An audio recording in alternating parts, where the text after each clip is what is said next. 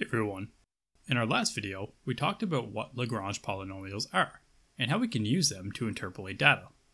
In this video, we're going to go through a first order Lagrange polynomial interpolation example so that you can see how we solve one of these problems. We are asked to estimate for the output of the following dataset using Lagrange polynomial interpolation. I'm just going to take a second and write out the general formula for any order Lagrange polynomial here.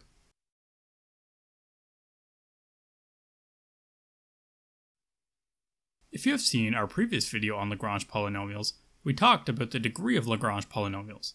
And, as we learned, since we have two data points present, we will have two terms in our first order Lagrange polynomial. Our order is our number of data points minus 1. Now, let's talk about how we solve this problem. We will first begin by using the formula above to develop our general first order Lagrange polynomial equation. Then we're going to plug in our known discrete data points, simplify our polynomial, and then lastly, once we have the Lagrange polynomial developed, we can plug in the input that we are asked for, and we can finally solve for the output. So, as we stated, our first step is to develop our first order Lagrange polynomial equation. In brief, we know that we need one term for each data point we need our polynomial to pass through. So I will just go ahead now and rewrite our general first order Lagrange polynomial equation.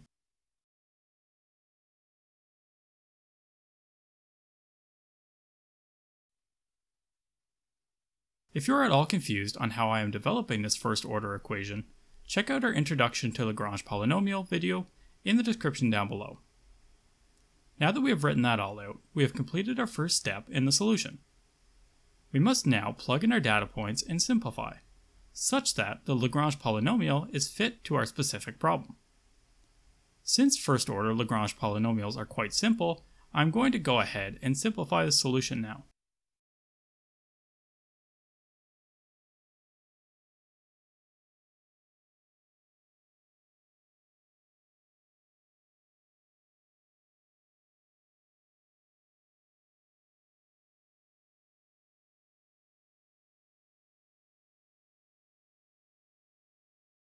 This leaves us with 5x minus 5, which is actually a straight line. Now, if you want to actually do a quick check by plugging our x terms into our Lagrange polynomial, remember that when interpolating our function, it needs to pass through all of the given data points. Therefore, by plugging in our x terms, we need to get our y terms back. I will just go ahead and validate that for you right now.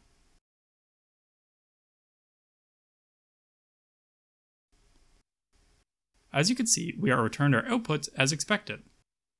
Lastly, we just need to plug in the input of 2.2 into our function.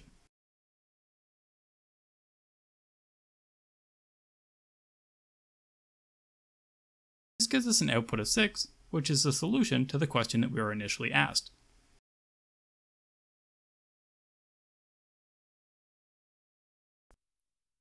We are asked to estimate for the output of the following dataset using Lagrange polynomials.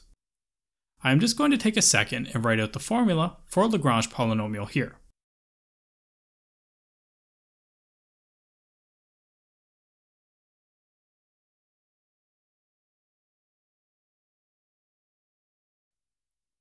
If you have seen our previous video on Lagrange polynomials, we talked about the degree of them. And as we learned, since we have three data points presented, we will have three terms in our second order Lagrange polynomial. Now, let's talk about how to solve this problem. We will first begin by using the formula above to develop our general second order Lagrange polynomial equation. Then we will plug in our known discrete data points, simplify our polynomial, and then lastly, once we have the Lagrange polynomial developed, we can plug in the input that we are asked for and finally solve for the output. As we said, our first step is to develop the general second order Lagrange polynomial equation, which I demonstrated in the past video. In brief, we know that we will need one term for each data point we have, as we need our Lagrange polynomial to pass through every data point that we give it. I will just go ahead now and rewrite the general second order Lagrange polynomial equation that we found in our last video. Now that we have that written all out, we just completed our first step in the solution.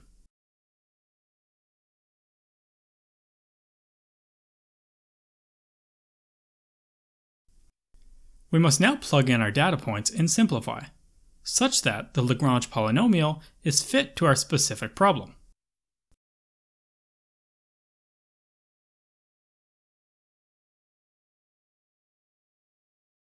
I'm just first going to solve for each individual term presented here.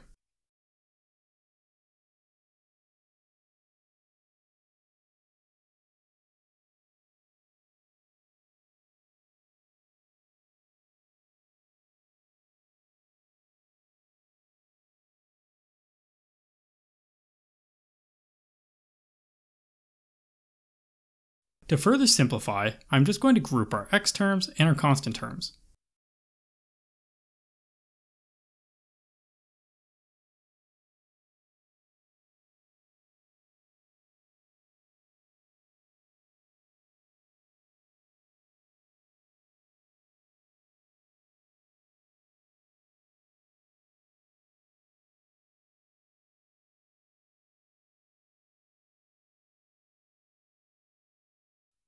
Which will look like this once completed.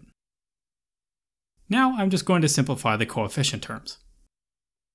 As these are rational fractions, I'm just going to convert them to decimals, and this is our interpolated Lagrange function. We have minus 0.25 x squared plus 3x plus 1.25. Now, if you want, you can actually do a quick check by plugging our x terms into our Lagrange polynomial. Remember, when developing these interpolating functions, it needs to pass through every given data point. Therefore, by plugging in our x terms, we should get our y term back. I will just go ahead and complete that now,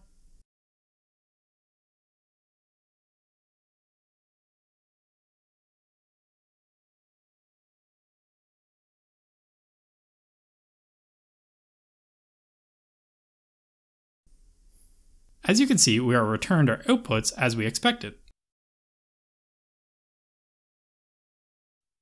Lastly, we just need to plug in an input of 2.5 as we were asked earlier. And for this, we receive an output of 7.1875, which is the solution to the question that we were asked. We can also validate our function using Excel's trendline feature.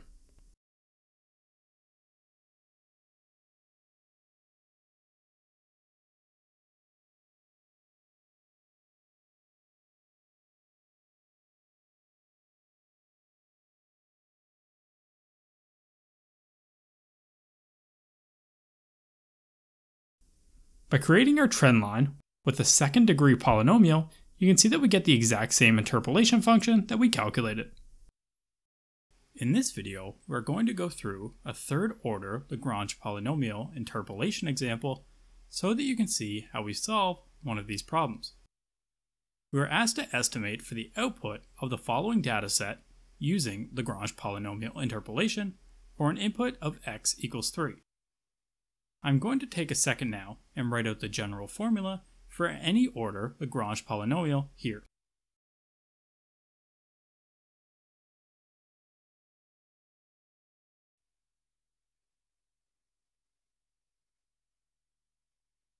If you have seen our previous video on Lagrange polynomials, since we have four data points presented here, we're going to have four terms in our Lagrange polynomial.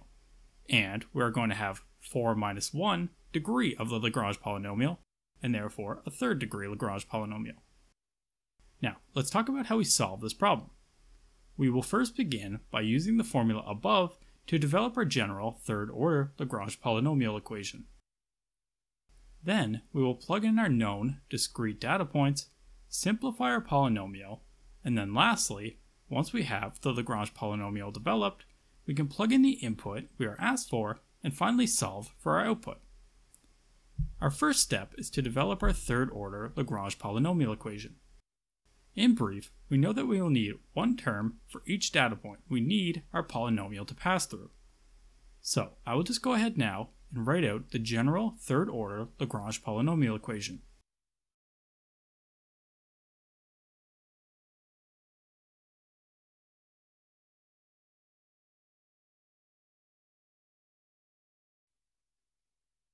If you are at all confused on how I am developing this third order general equation, check out our Introduction to Lagrange Polynomial video in the description down below. Now that we have that written all out, we have completed our first step in the solution. We must now plug in our data points and simplify, such that the Lagrange polynomial is fit to our specific problem. Since we have quite a large number of calculations, I'm just going to go ahead and write out our full solution to this, and we will return with our solution.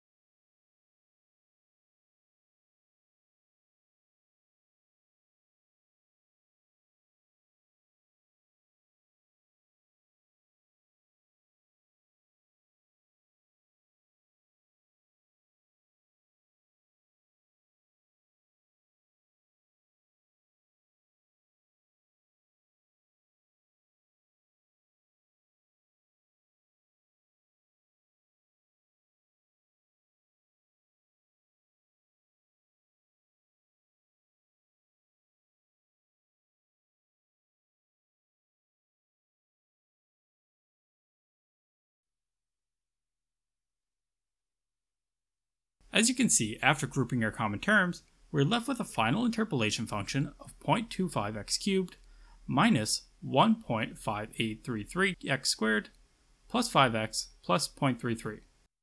Now, if you want to actually do a quick check by plugging our x terms into our Lagrange polynomial, remember that when we are interpolating our function, it needs to pass through all of our given data points. Therefore, by plugging in our x terms, we need to get our y terms back. If we do not, that means that we made a mistake at some point in our calculations. I will just go ahead and complete that now.